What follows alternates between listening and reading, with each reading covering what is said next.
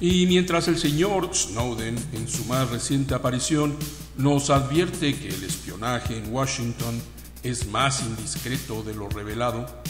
al mismo tiempo aparecen descaradamente las fotos de la gusana Joanny Sánchez con el secretario de su patrón, el señor Joe Biden, a quien seguramente le fue a pedir otros miles de dolarucos y a tratar de explicar por qué sus esfuerzos por afectar a la revolución cubana son inútiles.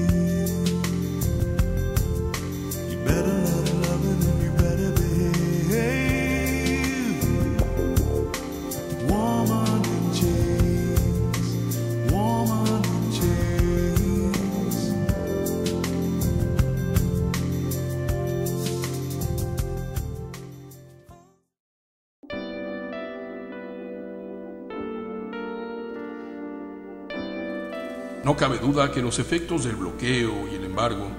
así como el constante asedio propagandístico de Estados Unidos en contra de Cuba,